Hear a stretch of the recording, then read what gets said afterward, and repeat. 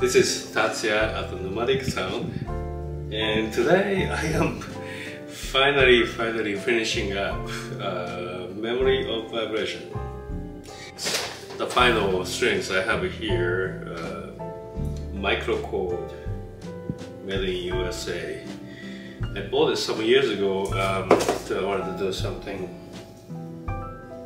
like this and maybe just uh, cut a little longer piece and then maybe people can adjust it.